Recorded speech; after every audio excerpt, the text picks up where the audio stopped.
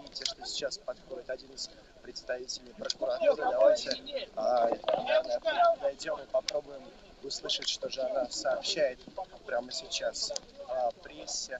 Ну, а, уже не в первый раз это происходит за сегодняшнюю ночь. А, также в этот вечер приходили сообщения о том, что в следственном изоляторе скончалась украинская летчица Надежда Савченко, однако позже эти данные были здесь же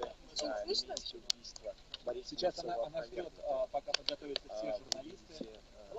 сейчас подходит представитель следственных органов, по всей видимости, сейчас будет дан небольшой комментарий. По крайней мере, пока еще женщина официально следственного консультации могу сказать, что во время предыдущего своего выступления она сказала, что зал следственного комитета Александр Бастрыкин уведомлен о гибели Бориса Немцова, и Сейчас, его э, а, где-то в вечной столичной среде. полиции, А, следственного комитета. А В настоящее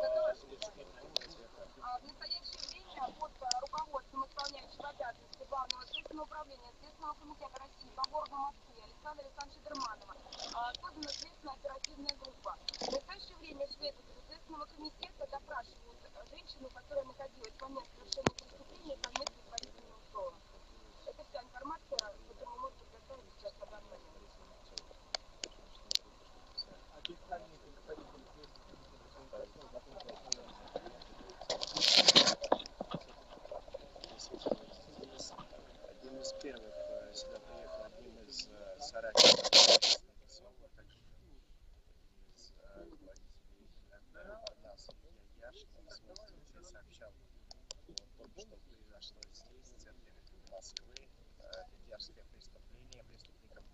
удалось уйти.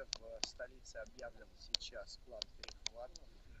Ну, а на самом месте преступления работают следственные органы. Периодически к э, представителям прессы, которые здесь очень и очень много уходят сотрудники э, Следственного комитета, прокуратуры, которые дают комментарии, однако узнать э, каких-то подробностей о них практически не удается. Говорится о том, что рассматривается очень много разных версий. Многие говорят о том, что в